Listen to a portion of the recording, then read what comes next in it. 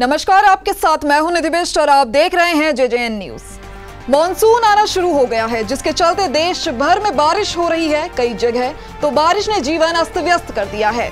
वहीं बात करें उत्तराखंड की तो मौसम विभाग ने आज उत्तराखंड के पाँच जिलों में बहुत भारी बारिश की चेतावनी दी है। इसे लेकर ऑरेंज अलर्ट भी जारी किया गया है। मौसम विभाग के अनुसार छह जुलाई को देहरादून, टिहरी, पौड़ी, नैनीताल और चंपावत के कुछ जगहों पर बहुत भारी बारिश हो सकती है। वहीं रुद्रप्रयाग, चमोली, बागेश्वर और पिथौरागढ़ में कहीं कहीं भारी बारिश होने की संभावना है।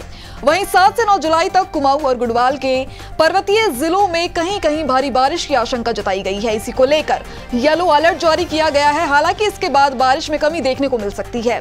हर साल उत्तराखंड में मानसून से बहुत नुकसान होता है। भूस्खलन और चट्टाने गिरने की खबर आए दिन आती रहती है तो ऐसे में देखने वाली बात यह होगी की इस बार के मानसून सीज़न में प्रशासन की कैसी तैयारियाँ हैं?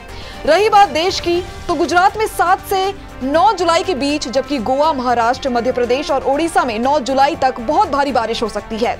गुजरात, महाराष्ट्र और गोवा में कुछ जगह 7 और 8 जुलाई को बहुत भारी बारिश का अनुमान लगाया गया है। तो आज के मौसम अपडेट में बस इतना ही। बाकी की खबरों के लिए आप बने रहिए हमारे साथ और देखते रहिए जी न्यूज़।